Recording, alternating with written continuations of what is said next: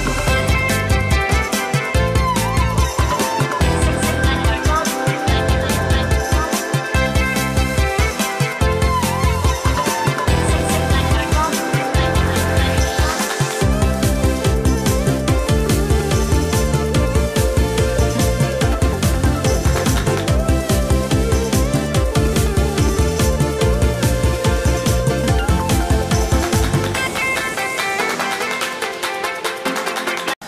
It's that, that Super Bowl. No, she motherfucker.